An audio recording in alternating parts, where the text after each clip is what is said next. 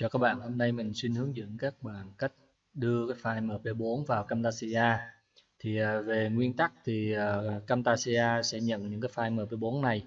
À, tuy nhiên một số cái file mà chúng ta tải trên mạng về cũng với định dạng MP4 nhưng mà khi đưa vào Camtasia thì nó sẽ báo lỗi. Ví dụ như những cái um, file à, mình sẽ ví dụ minh họa cho các bạn xem.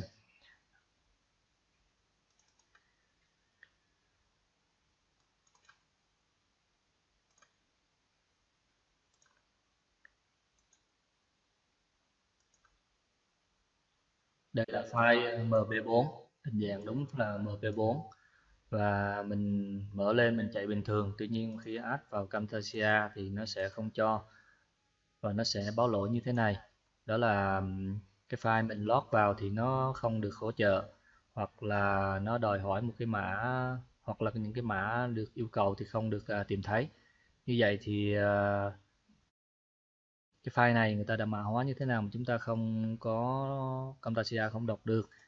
Ờ, và hôm nay mình sẽ hướng dẫn cho các bạn làm sao để mà đưa được cái file này vào chương trình Camtasia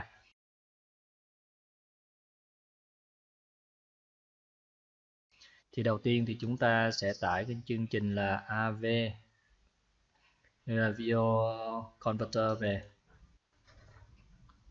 Thì chương trình này sẽ giúp chuyển đổi những cái dạng file à, với nhau thì bây giờ mình sẽ cùng bắt đầu.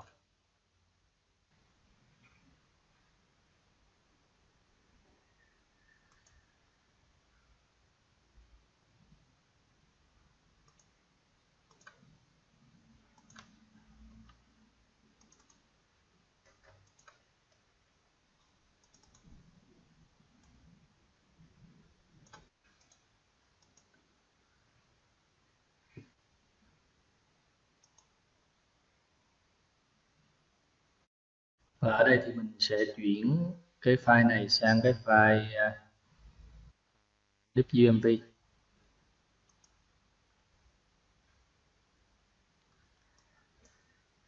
ở đây thì có những thông số cho mình lựa chọn. Tuy nhiên là chúng ta cứ để theo cái chương trình mặc định của nó.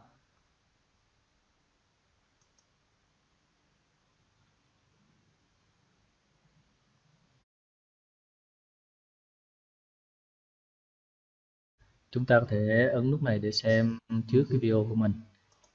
Rồi bây giờ chúng ta sẽ tiến hành chuyển nó sang cái à, định dạng GMV bằng cách là chúng ta sẽ nhấn vào cái nút này cover chart rồi chúng ta đợi là cho đến khi video được uh, chuyển đổi xong và chúng ta sẽ bắt đầu đưa vào chương trình uh, Camtasia.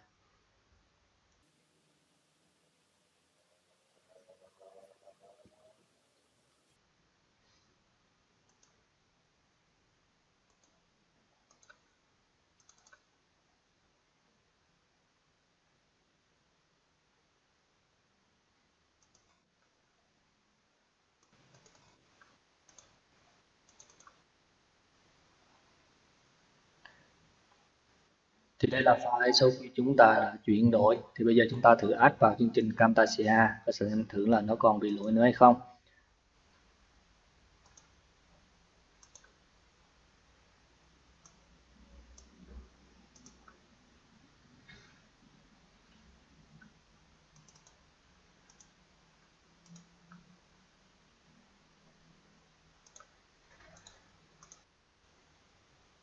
Rồi các bạn thấy là chúng ta đã đưa được cái à, file này vào cái chương trình Camtasia.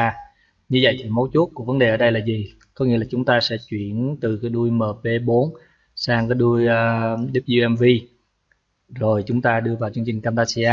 Thì à, đây là cái cách giúp chúng ta chuyển đổi cái file MP4 thành cái WMV và đưa vào chương trình Camtasia.